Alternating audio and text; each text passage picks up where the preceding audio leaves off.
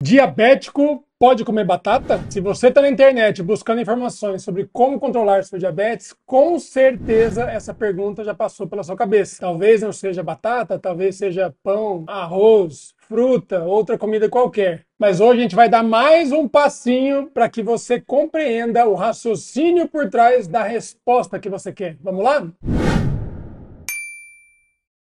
Muito bem, pessoal. Saudações metabólicas. Sejam bem-vindos a mais um vídeo do nosso canal. Aqui nós falamos sobre a reversão do diabetes tipo 2. O que, que significa isso, doutor Guilherme? É cura. Você vai me dar uma cápsula, um remedinho para zerar o meu diabetes para todo sempre? Não, não é isso. Se você compreende que as suas ações podem piorar o seu diabetes, você deve saber quais ações são essas, então você é capaz de progredir o seu diabetes. Será que seria possível fazer outras ações para revertê-lo, para fazê-lo andá-lo para trás? Essa é a reversão do diabetes. Em algumas pessoas esse processo é tão importante e a resposta é tão boa que a gente consegue ir um passo além e conseguimos colocar nosso diabetes diabetes em remissão. Remissão significa que você dosa ou no dedo ou no próprio sangue aqueles marcadores do diabetes, tipo glicose, glicada, e não há mais sinais da doença, mesmo que você não esteja usando os remédios. É, meu amigo, isso é possível. É sobre isso que nós falamos aqui, mas não espere que eu é que tenha que fazer isso.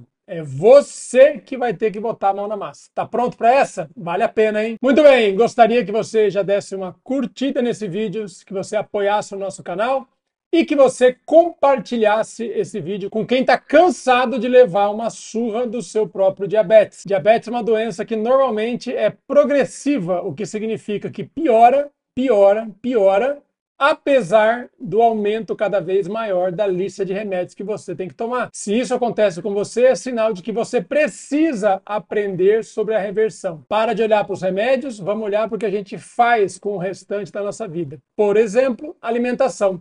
Voltando para o tema desse vídeo, eu quero falar com vocês sobre batatas. Diabéticos podem comer batata? E a resposta é um pouco mais longa do que você gostaria mas aprenda essa noção porque você vai usar isso para todo sempre. Vamos supor que a sua receita de batatas é essa aqui que eu vou mostrar na tela agora. Aqui a gente tem uma foto bem bonitona de um nhoque. Sabe o que é nhoque? É um prato tipicamente italiano, pelo menos até onde eu sei, onde você faz basicamente batata amassada, arma essas bolinhas aqui que vão para o forno cozinhar com molho de tomate, nesse caso o molho à bolonhesa, um pouquinho de carne moída com molho de tomate. Uma delícia! Porém, olha para essa foto aqui, ó. Olha para a foto do nhoque na tela. Seguinte, eu preciso que você tenha uma mente um pouco mais matemática. Tenta imaginar na sua cabeça a proporção, o tamanho da quantidade, tipo peso na balança mesmo, de batata que você tem aqui comparado, por exemplo, com a quantidade de carne.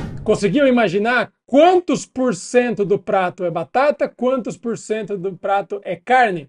Eu fiz a minha estimativa, montei um gráfico aqui, quero mostrar para você, ver se bate mais ou menos com a sua ideia. Na minha opinião, a gente tem entre 80 a 90% do que tem para se comer nesse prato aqui é batata.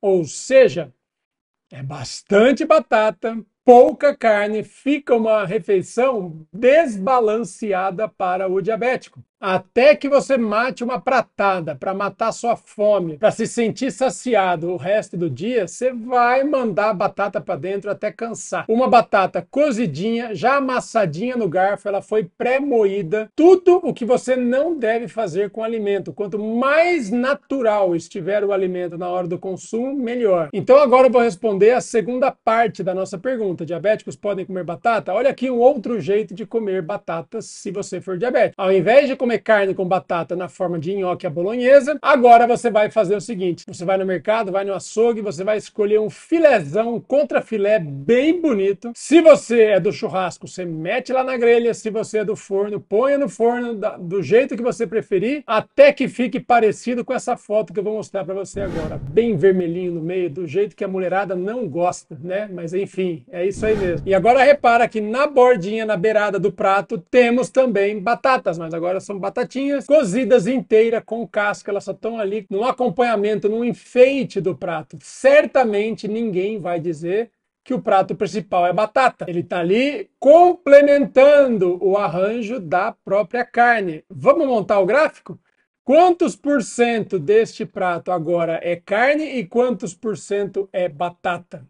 Pensa aí, vou montar meu gráfico aqui para te mostrar. Olha lá. Nas minhas equações de olho, isso é minha opinião, eu não fiz conta, não fiz nada. Se você quiser, você pode fazer. Embora eu ache que só essa batida de olho já ajuda. Mas aqui a gente tem alguma coisa entre 70% a 80% do prato agora é carne. E era batata, lembra? E, portanto, batata fica então na faixa de 20% a 30% e batatinhas inteiras cozidas com casca bem diferente do pirezinho de batata. Deve ter lá um tantinho de molho de tomate, de temperinho daqui e ali, nada disso importa. Mas eu lembro muito bem que a pergunta era diferente, né? A pergunta assim, doutor Guilherme, eu, diabético, posso comer batatas? E a resposta nesse caso é o seguinte, não sei. Primeiro que eu já estou te provocando para saber qual prato você prepararia com suas batatas. Segundo, que eu quero saber que tamanho de prato é que ficou. Quantas batatas você vai querer comer? Vai ter repeteco? Vai ter outras fontes de amido no seu almoço? E principalmente eu não sei as características do seu caso, que também importam bastante. Repara então que eu não sei um monte de coisas, mas eu posso te garantir uma coisa que eu tenho certeza. Se você fizer o teste da fitinha depois de comer nhoque, você vai ter um tipo de resultado. Se você fizer o mesmo teste da fitinha antes e depois de comer o bife com batatas, com muito bife, pouca batata, o resultado das suas fitas vai ser completamente diferente. Você duvida? Repara, eu não sei quanto vai dar, eu não sei se você vai estar satisfeito com o resultado, mas eu sei que isso é muito diferente.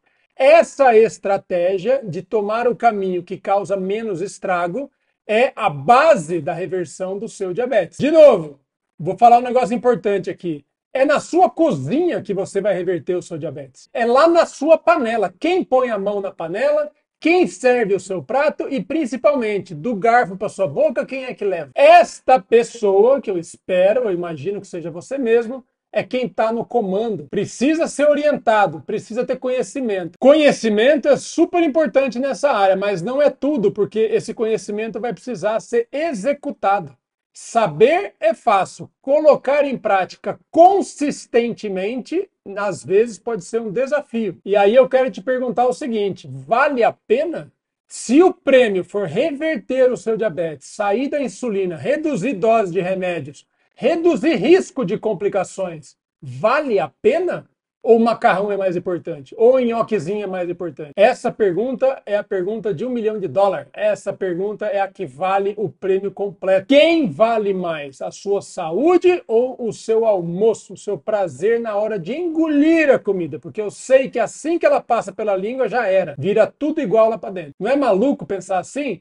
Bem prático, né? Mas é exatamente isso que acontece e é exatamente isso onde as pessoas batem cabeça. Então, antes de perguntar se o diabético pode comer batata, a, a resposta que deveria estar na ponta da sua língua é o seguinte: será que ele deve? E essa eu vou deixar para você. Espero que tenha gostado da provocação, espero que você coloque esses testes em prática, que você aprenda com esses resultados e que você se encaminhe para a melhor saúde que você pode ter daqui para o resto da sua vida. Se você quiser ter uma velhice com saúde e não limitado e dependente dos outros, esse é o primeiro passo. Estamos juntos nessa jornada, dois a três vídeos por semana. Já te convido a seguir o canal, ligar o sininho, encaminhar para as pessoas, etc e tal. E não deixe de comentar se você gostou. Espero para bater papo com você e até a próxima. Um abraço, até mais.